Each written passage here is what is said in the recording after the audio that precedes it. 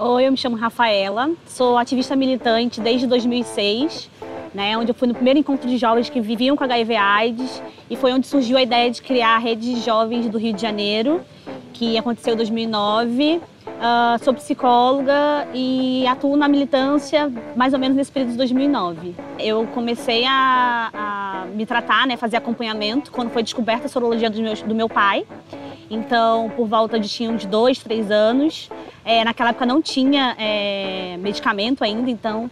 Mas eu lembro desse processo de ir no, no, no, hospital, né, fazer o acompanhamento. Eu tinha uns seis, sete anos, a gente fazia uma atividade com as psicólogas do serviço de saúde, né? Então a gente tinha toda uma brincadeira, todo o contato com as próprias medicações quando vieram para o Brasil, né? Com a psicóloga. Então a gente e também lembro do, do corredor do hospital com bastante criança, a gente sempre brincava, né? Ficava correndo.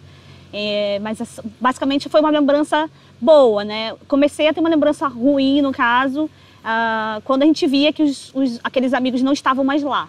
Dentro da militância, a gente percebe que as mulheres negras são as mais infectadas com HIV e elas sempre relatam o processo de racismo, né, de questão de racial dentro do, do hospital de serviço, né, são destratadas ou até mesmo é, recebem mesmo tratamento diferente do próprio profissional de saúde por serem negras. Então, junto com outras meninas, né, também negras, a gente surgiu a ideia de, de, de, criar Florescer, também porque vinha né, à tona a questão da criminalização da transmissão do HIV. Então a gente queria mostrar o outro lado, né, falar né, por nós mesmas sobre aquilo.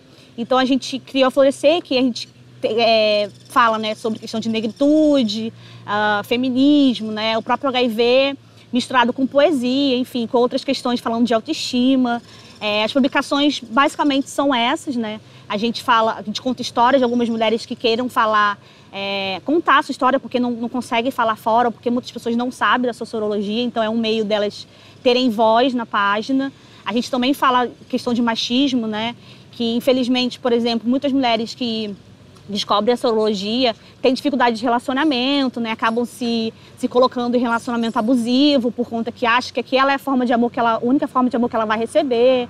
Então a gente também fala sobre é, novas, novas tecnologias que surgem, novas opções de tratamento. A gente está sempre atualizando a página com conteúdos que estejam é, na mídia, mas voltado mais para o público feminino. Durante a criação de Florescer também foi aonde é, eu me fortaleci para falar sobre sobre ter HIV, né? Que a gente chama de prevenção positiva. Então, algumas pessoas que que são positivas é, resolvem abrir a sua sorologia, né? Depois de estarem resolvidas com elas, né?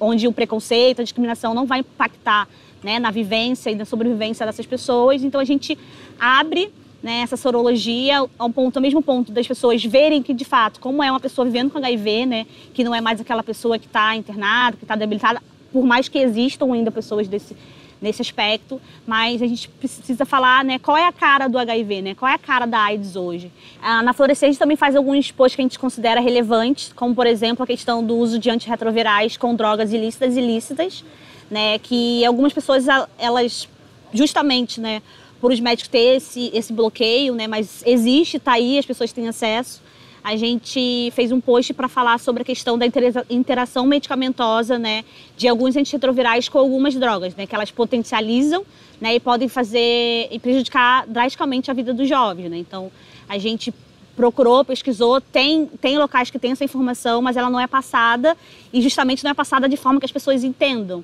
Né? Então, a gente, por exemplo, uh, com a questão do álcool, né, que é muito usado, é, se a gente tem um antirretroviral que se tomado com ele pode gerar um pouco mais de tontura. Então recomenda-se tomar o remédio antes, né, duas horas antes do que vai ingerir o álcool. Então essas informações que os jovens ou as pessoas têm dificuldade de conversar com o médico, também a gente faz esse tipo de post, né? E ele é bem procurado, bem acessado. Algumas pessoas nem comentam, né, na, na, no, próprio, no próprio post, mas vão no inbox para tirar dúvidas sobre isso, né? Perguntar onde foi a informação. A gente sempre procura também botar fonte, né, seguras sobre essas questões.